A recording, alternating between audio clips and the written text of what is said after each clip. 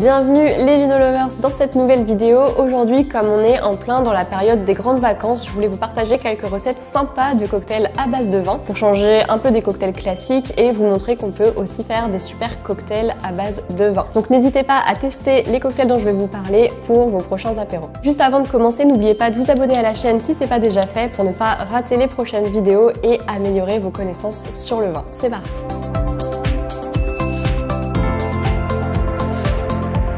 Alors on commence tout de suite avec un de mes cocktails préférés, c'est la soupe angevine. Comme son nom l'indique, c'est un cocktail qui nous vient d'Angers, dans le Maine-et-Loire. C'est un cocktail que je connais bien puisque j'ai habité presque 10 ans à Angers. Et là-bas, la soupe angevine, c'est vraiment un incontournable de l'apéro. Alors la recette, vous allez voir, c'est super simple. C'est une bouteille de crément de Loire, le jus d'un citron pressé, 15 centilitres de Cointreau et 15 centilitres de sucre de canne. C'est vraiment du local puisque le Cointreau est fabriqué juste à côté d'Angers, à Saint-Barthélemy d'Anjou. Et puis le crément de Loire est produit sur toute la région angevine.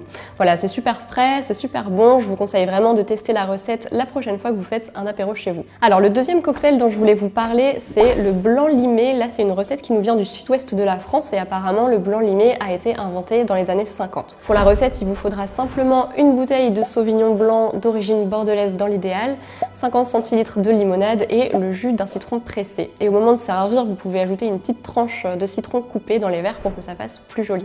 Ensuite, je voulais vous parler d'un cocktail qui est vraiment chouette pour des apéros un peu chics, c'est la framboisine. C'est un cocktail à base de vin effervescent, donc euh, du crément, du champagne ou du prosecco par exemple, auquel vous allez ajouter 10 centilitres de Cointreau, 10 centilitres de sucre de canne et des framboises congelées.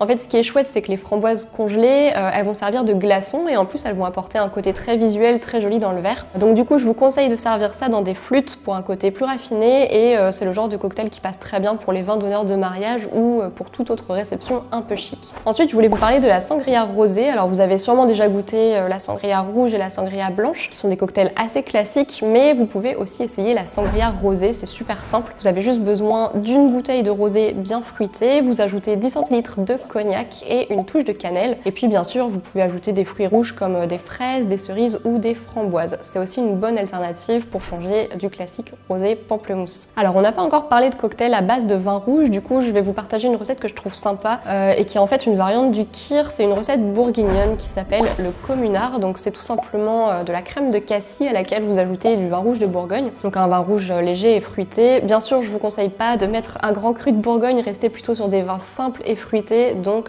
pas trop cher. Et voilà, c'est la fin de cette vidéo. J'espère que ça vous aura donné des nouvelles idées de cocktails à faire pour vos prochains apéros, à consommer avec modération bien sûr. Surtout, n'hésitez pas à mettre un petit pouce bleu si vous avez aimé cette vidéo. Et aussi, n'hésitez pas à me dire en commentaire quel sujet vous voulez qu'on aborde ensemble dans les prochaines vidéos ou si vous avez une question sur ce qu'on vient de voir. Et nous, on se dit à vendredi prochain dans une nouvelle vidéo. Salut